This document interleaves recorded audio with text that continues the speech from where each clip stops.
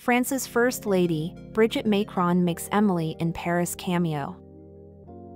France's First Lady Brigitte Macron has made a cameo appearance in the hit Netflix series Emily in Paris. Season 4 sees Emily, played by Lily Collins, the daughter of British pop star Phil Collins, head off to Rome for new adventures. Mrs. Macron, 71 years old, who taught drama to the now French President Emmanuel Macron when they first met at his secondary school, features in episode 7, which was released on Thursday. In the scene, Emily is seen approaching Mrs. Macron in a restaurant to ask her for a selfie.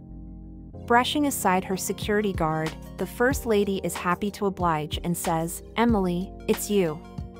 She then tells her friends, I follow her on Instagram. After Emily says how much she adores France, Mrs. Macron replies, And my country loves you, Emily.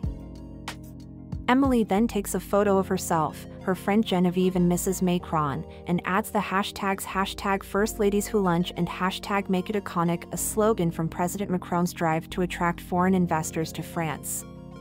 The program, which is centered on a Chicago woman called Emily Cooper who moves to the French capital, was Netflix's most watched show in 2020.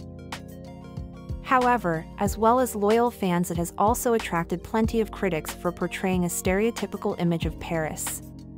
Collins told Elle magazine, which first reported the cameo, that the idea for Mrs. Macron's guest appearance came about after she and the show's creator Darren Star met the First Lady at the Elysee Palace in December 2022.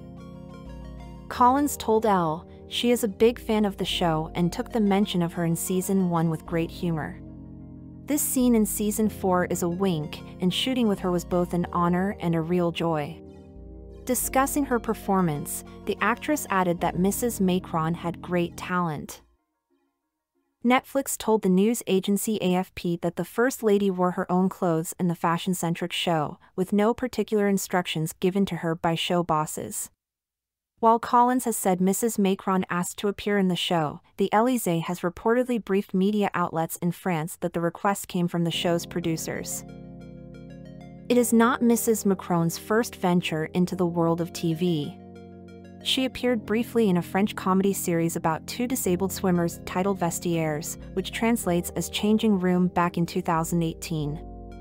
Earlier this year, French production company Gaumont announced it was creating a series about Mrs. Macron's life called Brigitte, Un Femme Libre. The six part series, which will air in 2025, traces the romantic trajectory of the First Lady, according to the show's synopsis.